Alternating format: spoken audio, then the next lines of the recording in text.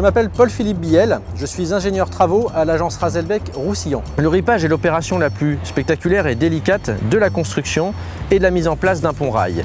Elle intervient lors d'une opération coup de poing minutée. Dans un premier temps, on réalise le radier de guidage sur lequel le pont va être ripé.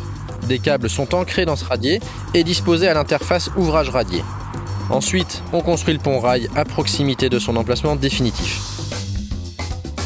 Des vérins sont mis en place à l'arrière de l'ouvrage pour exercer un effort de traction dans les câbles et ainsi pousser la structure sur le sol.